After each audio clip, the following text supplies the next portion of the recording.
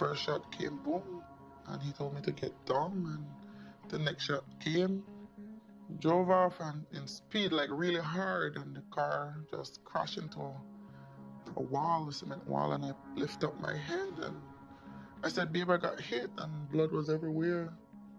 When I lift his head up, I saw the bullet hole at his neck, and all the blood was, you know, gushing out. And I told him to breathe, hold on, I said, we'll get help. I just feel his breath left his body. And then I'm screaming and asking God to help me. And I ask him, babe, please pray and ask God to save you. Second hardest day of my life, losing my brother and losing the man I was gonna spend the rest of my life with.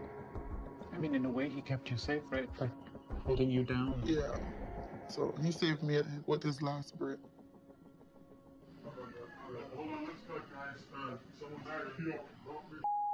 Who, who that?